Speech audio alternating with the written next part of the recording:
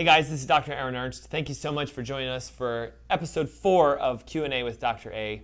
So excited that you're joining us this evening. We've been getting a lot of really, really good questions, and so I'm really looking forward to expanding your horizons in all different areas. Don't forget, this airs every single Thursday at 7 o'clock as a new episode, and you get to be the script writer. So if you have a question for us, scroll down underneath this video and you'll find a link that you can click that brings you to our confidential contact portal, and you can ask any question that you have in regards to health, and we get to answer them on this show every week. Also, don't forget, every Saturday at 10 a.m., I do a radio show here in Charlotte on 1660, and also at 3 o'clock on WBT, which is 1110 a.m. or 99.3 FM. So you can join us for the Ask Dr. Ernst show for that each week. And um, what I really, really like about today's questions is that we're, we're starting to get into some really, really specific ones. So hopefully you find this as a great seminar. It's a really good way to just learn what other people are asking because it may affect you or it may affect a family member or something to that effect. So of course, as we begin this, know that this is a rapid fire question, answer, question, answer, and off we go. First question says uh, I saw online that there's a thyroid issue that can stem from Epstein Barr virus. What is the understanding of this? And, and here's the thing it is a direct connection between Hashimoto's thyroiditis, which is an autoimmune form of thyroid conditions, and a potential previous infection with Epstein Barr virus. So, Epstein Barr is connected to mononucleosis, which is known as the kissing disease. And so, chances are most of us have gotten this, and we typically have this virus lying dormant within inside of us. But I see a significant correlation with clients and patients that I work with that have autoimmune thyroid conditions actually have an activation of Epstein Barr. Now, the only way to know if this is happening is you have to be tested for Epstein Barr virus. And it's a very simple blood test to just check the counts or the amounts of Epstein Barr in your blood. And what we know is, is that when Epstein Barr starts to climb or get reactivated, we tend to find a lot of thyroid conditions showing up around that time frame, specifically if it's an autoimmune thyroid. And that's partly because when a virus is running rampant within the body, the immune system starts to climb to go after the virus. And Epstein Barr virus has a very similar mimicking issue with the thyroid gland. So that virus itself looks a lot like the thyroid proteins and components. So, as the body is attacking Epstein Barr, it's often also attacking the thyroid. And now, if you're going to go treat Epstein Barr virus and do it more from a natural or a holistic perspective, vitamin C, selenium, medicinal mushrooms, curcumin, zinc, these are all really, really good antivirals. And what's unique about this is a lot of people that have thyroid conditions will start taking selenium and start going, oh my gosh, my thyroid is doing great, my numbers look good. When in fact, what's probably happening is the selenium is actually kicking the Epstein Barr virus out and the immune reaction calms down and then the thyroid works better by itself. So it could be actually that it's an Epstein Barr virus infection, not a thyroid condition. So it is connected directly to Hashimoto's thyroiditis. So that's a fantastic question. Next question says, is it good to be in ketosis for a long term? And listen, listen, this is a great question. We know short term that ketosis is fantastic for multiple things. What ketosis is, is it means that you're in a state of using a different fuel source than, say, sugar for energy. So there's something known as beta ketobutyrate, which is a type of a ketone body that is produced when you're fasting because your cells need something for energy, they typically will use sugar. So sugar is in the form of glucose, the cells are functioning, but as you fast, your, your glucose levels go down, so the cells start to say, hey, I need something. Well, what your body will do is it will burn fat for energy, and one of the byproducts of burning fat is a ketone body, and ketone bodies can actually energize the cells and give them a fuel source very much like sugar, but it doesn't have the oxidation effects. So, what are the benefits of being in ketosis? Well, first of all, you can lose weight. Second of all, there have been a lot of studies that show that when you're in ketosis, you can actually kill cancer cells and harmonize the body's hormones. So, being in ketosis is fantastic for multiple things. They've even done studies that shows it works for epileptics and people that have neurological disorders like Parkinson's, dementia, and Alzheimer's. And part of that comes from, again, the brain can utilize ketone bodies for energy more so than any other cell within the body. So you can actually activate the brain by being in ketosis. So here comes the answer to the question. I think it's great to be in long term ketosis, but you have to understand there are levels of ketosis. So it goes like this if your ketone bodies measure zero when you're checking yourself with a blood stick or something to that effect, then you're not in ketosis at all. If you get to a 0.4, you're still at low, low levels, basically not in ketosis at all. As soon as you hit 0.5, you're entering into what we would call a low level state of ketosis. As soon as you hit 1.5, though, you enter what is known as low level nutritional ketosis, which means you're starting to burn fat, you're starting to generate energy, but you're not technically into therapeutic ketosis yet. When you get to about a 2.5, now you're in what we would know as therapeutic ketosis. You're, you're killing cancer cells, you're activating brain functions, you're letting your bodies go through a fasting starvation state, you're basically regenerating tissue. When you get to be about 3.5, sometimes up to 4.5, you're in a low level of what's known as starvation ketosis. It's good to go there occasionally, but it's not good to stay there for a long period of time. You get to a five or a six or a seven, now you're in what's known as true starvation ketosis. Again, some of you may need to get into a starvation ketosis to let your body regenerate, but you don't want to stay there for a long period of time at all. If you get to 50, 60, 70, 80, now you're into what's known as ketoacidosis, and that can be very detrimental for your health. In fact, it can actually lead to early death. So we have to really answer the question by saying, are there benefits of being in long term, low level nutritional ketosis? And the answer is yes. There was a study done in 2014 that was titled Long Term Effects of Ketogenic Diet on the Body Composition and Bone Mineralization. They tested people who were in ketosis between 1.5 and 2.5 for a period of five years. So I would consider this long term. This is exactly what they said is their conclusion. Our data suggests that maintaining a ketonic diet for more than five years poses no major negative effects on body composition, bone mineral content, and bone mineral density. So, in essence, they're saying there's nothing wrong with your body as far as how you compose yourself fats, proteins, nutrients. Your bones won't get weak and you won't become mineral deficient. That right there to me shows you we should stay in a level of ketosis for a long period of time. But remember, we're not going to be pushing high levels of nutrient or therapeutic ketosis for a long period of time. Personally, I try to stay at least 0.5 to 1.5 all the time. Why? Because we want to kill cancer cells, we want to burn fat, and we want to prevent age related decay of the brain. Can you explain the reason why we need to take digestive enzymes when we eat? And is this something that we have to do for the rest of our life? So here, here's the thing. To begin with, most of us are deficient in enzymes, and we can partly blame that on the industrialization of farming. Most enzymes come from plants. So when we eat plants, we get enzymes. Now, our body also produces their own degree of enzymes. We have enzymes in our stomach, we have enzymes in our liver, we have enzymes in other places. So we can produce our own enzymes, but specifically when you eat foods that are high in enzymes, it helps you to digest them. There is this theory that, of course, acid reflux is too much acid within the stomach, but that has been completely debunked because it's actually not enough acid in the stomach that causes the foods you eat to stay there for long periods of time and rot and produce organic acids that you burp up in reflux and feel acidic, but they're not actually hydrochloric acid acids. So, what we now know is that you need to supplement hydrochloric acid for most people.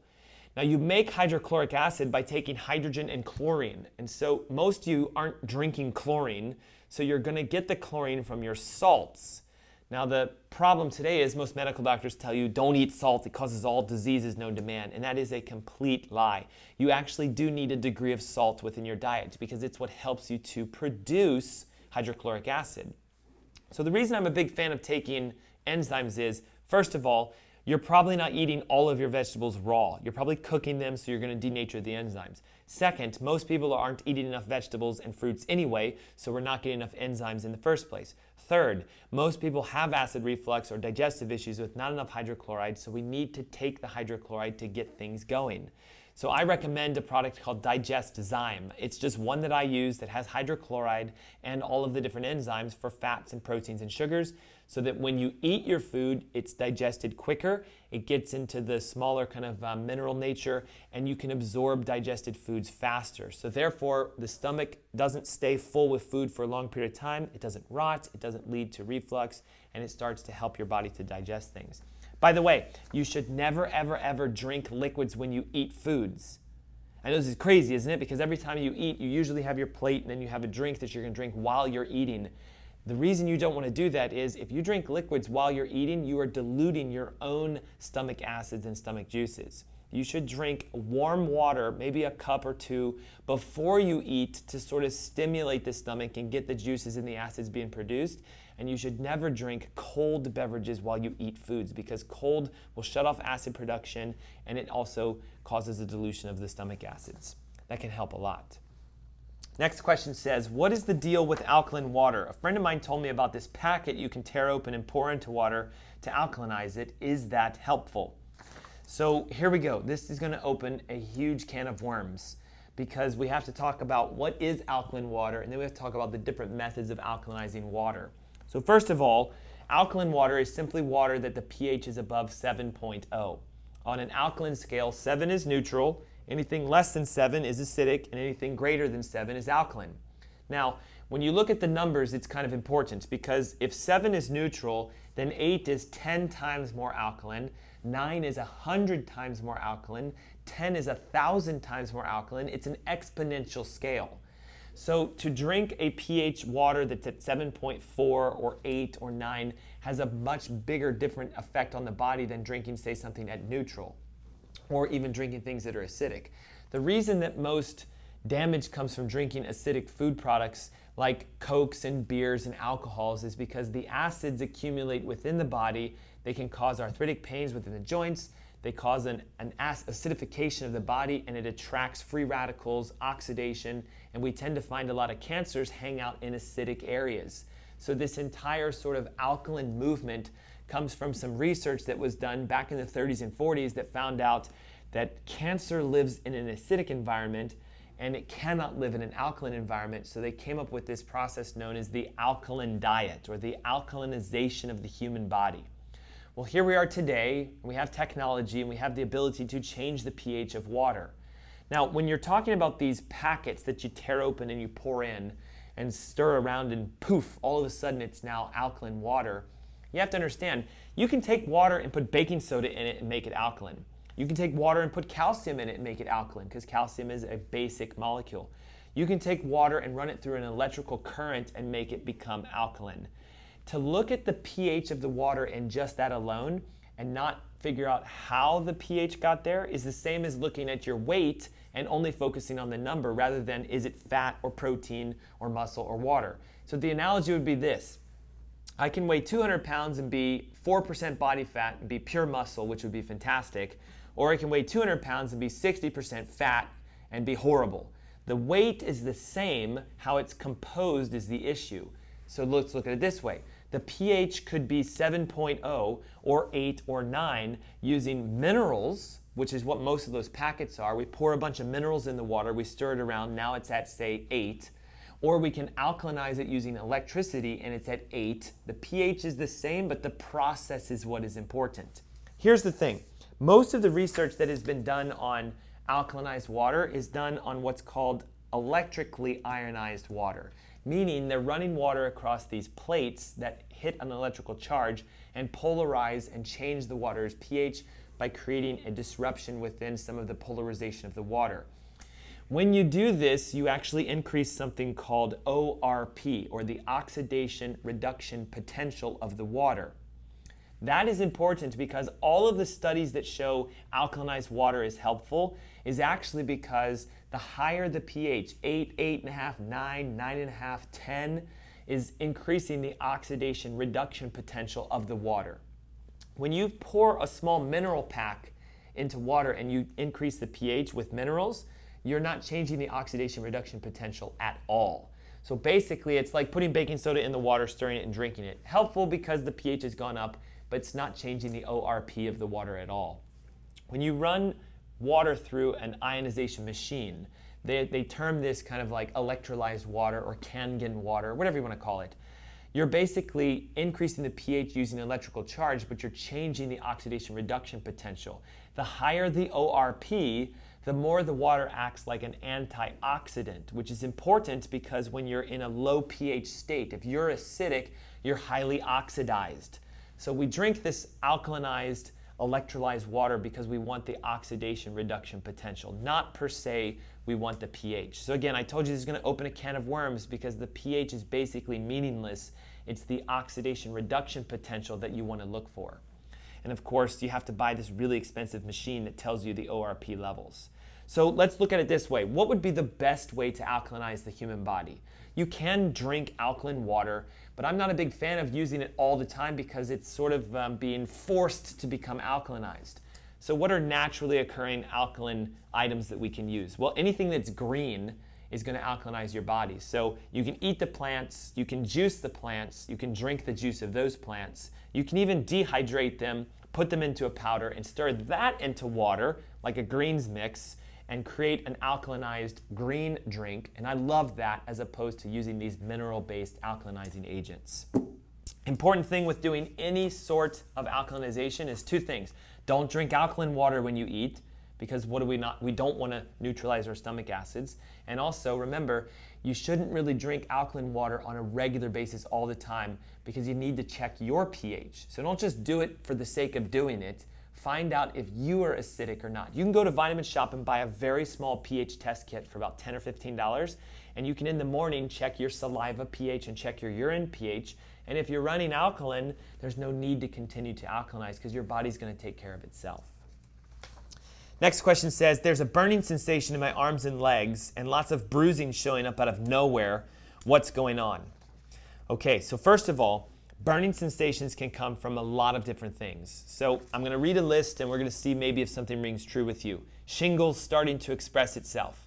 Shingles is a virus that lives in your nerve system, and as it starts to go down a peripheral nerve, it starts to burn and tingle. You may not necessarily have the bumps or the rashes yet, but the beginning stages of shingles can come with a burning sensation.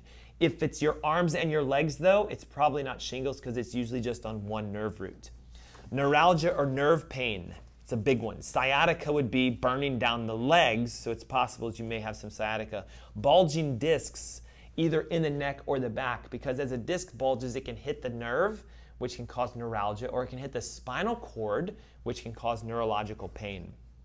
Another big one is MS. And unfortunately, with both arms and legs going burning, I'm leaning towards MS because that's a classic sign of multiple sclerosis.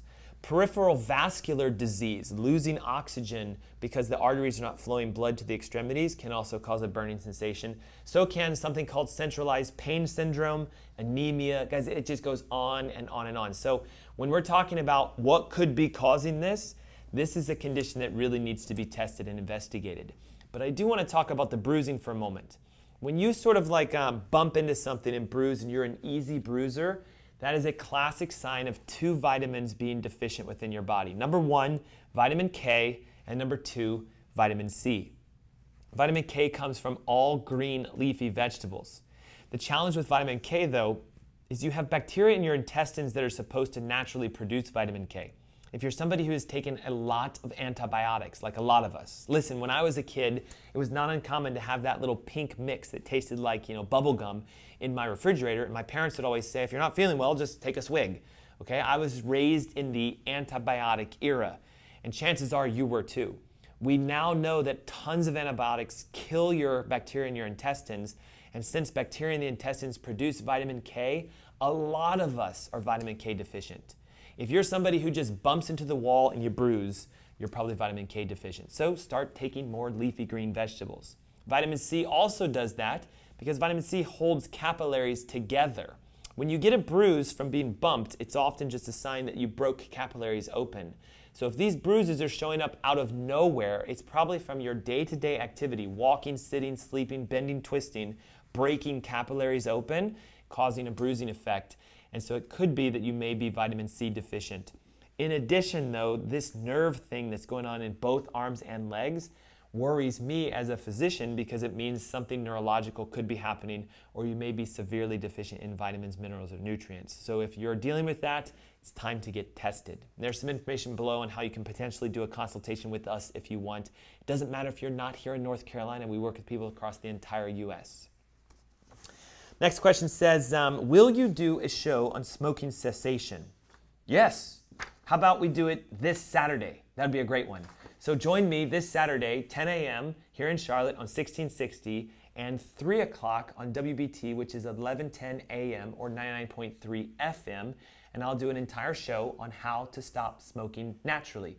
This would be one for you if you're a smoker, or one for your family members, your loved ones, or anybody you know that smokes, because we're gonna go over some natural methods to how to stop smoking. Right here, though, I wanna give you guys a little fun fact the um, University of Thailand and their medical association did a study where they took 100 people that smoked that said they wanted to stop. And that's the number one most important thing. You have to want to quit if you're going to go through this path. But they took these 100 people and they broke them into two groups. This group, they said, when you want to have a cigarette, chew this kind of like nicotine gum and see if that helps to hold you off with the desires of having to have a cigarette.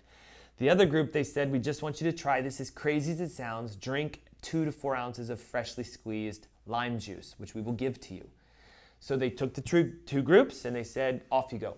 Within 9 to 12 weeks, they found that both groups had decreased their smoking amounts in the same effect. So the nicotine gums worked, the lime juice worked. They also discovered that the group that was drinking the lime juice had low to zero nicotine in their body. Of course, the ones who were taking the nicotine gums still had nicotine in their body because they were chewing the gum that has nicotine. Second thing they noticed was that the carbon monoxide, that's the poisonous gas that comes off of cigarettes that combines to hemoglobin and prevents oxygen from um, binding, which is why a lot of smokers have difficulty taking good breaths and getting oxygenated. The carbon monoxide levels in the lime juice group was completely back to normal. The carbon monoxide levels in the nicotine group was almost back to normal. So the conclusion was lime juice works just as good or better than these nicotine gums. And the thing with the nicotine gums is they do work, but they're extremely expensive. And so you're looking at, you know, 30, 40, 50 dollars for a box and you have to have several of them throughout the month and you have to dose yourself down. Limes cost maybe like um, a couple dollars for a bag of 10 or 15 of them and um, they work just as good. So maybe a little trick that you guys can try. The next time you feel like taking a cigarette, drink two to four ounces of lime juice. Next question says, can animals consume coconut oil? Yes, and listen, in fact, a lot of animals love it.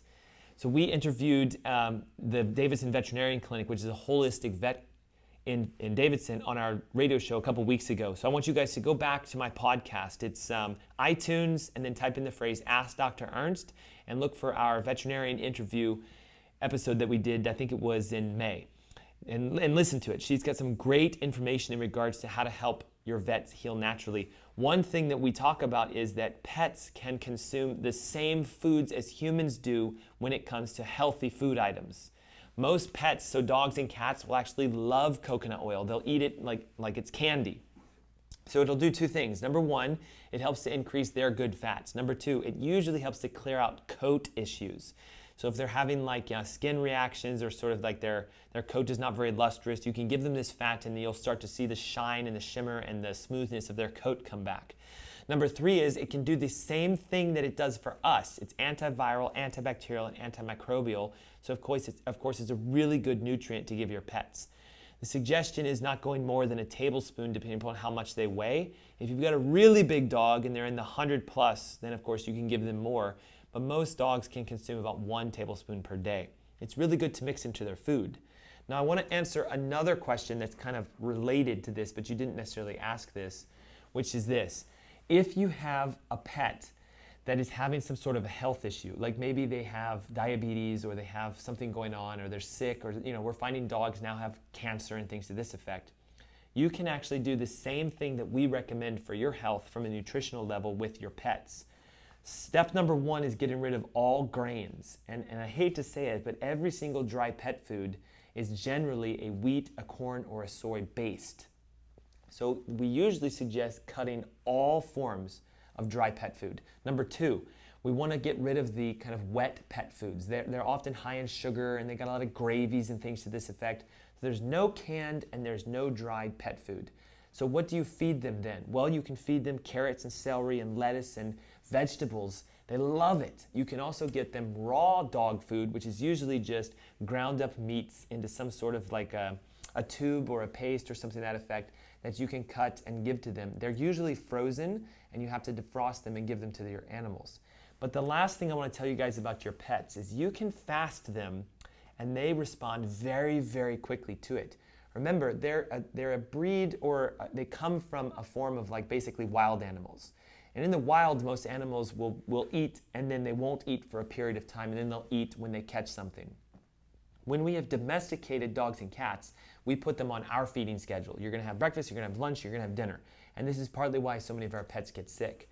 Personally, I have a dog that went through almost a point of dying. She's about 16 years old and was literally falling apart, vomiting left and right, couldn't hold urine in. We thought it was just because of her age. And we went to the holistic vet. They said, well, listen, why don't you just fast your dog and see what happens? So we only fed her once per day and we only gave her raw dog food. We also gave her carrots and celery and spinach and things to that effect. And within as little as two weeks, she bounced back completely. Now she's literally jumping, barking, running, playing. And guys, she's 17 and acting like she's two years old. So you can do this with your pets. Next question says, I'm a flight attendant and I'm always in the airport or on an airplane. How do I stay healthy on the go? This is a tough one. And it's not just if you're a flight attendant, it's somebody who travels a lot or it's somebody who does things like, um, you know, I'm, I'm a, a, driver or you know, I'm working in an area where I have to uh, uh, have poor access to foods and things to that effect. But to answer the question for a flight attendant, it's hard because every single airport generally has food that is not healthy at all. The nice thing about Charlotte is we have this sort of like newer market right in between the A and the B gate that basically now sells things like avocados and they have even some cheese and things to this effect. So the best bet I can say for you or for anybody who works and travels a lot is you have to become smart with bringing your own lunches.